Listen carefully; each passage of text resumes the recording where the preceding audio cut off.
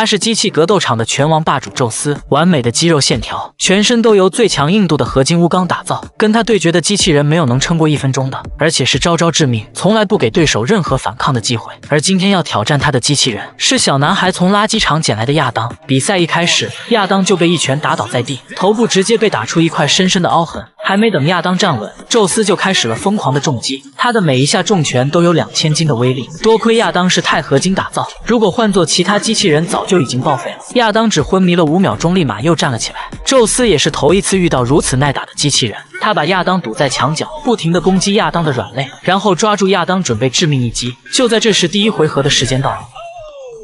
亚当被打得全身冒烟，双方休息了两分钟。第二回合比赛继续，宙斯也是头一回遇到如此难缠的对手。每一次上千斤的重拳把亚当打倒，他都能在五秒钟内重新站起来。亚当就像一只打不死的小强，再这样耗下去，宙斯的能量就快耗尽了。他想尽快的结束比赛，使出了自己的必杀绝技双拳火箭炮。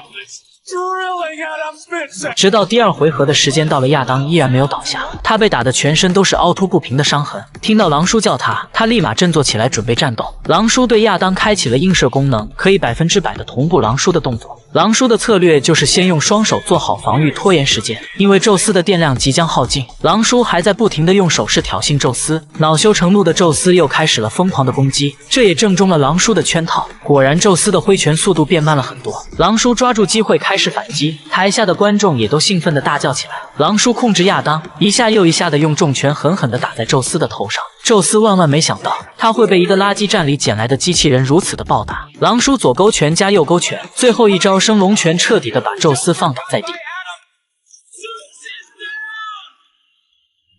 但在比赛的最后几秒，宙斯又顽强的站了起来。通过裁判的打分，冠军竟然给了被打败的宙斯，这引来台下的观众一片嘘声。虽然裁判不公平，但在所有人的心中，亚当才是真正的冠军，也是所有人心中真正的王者。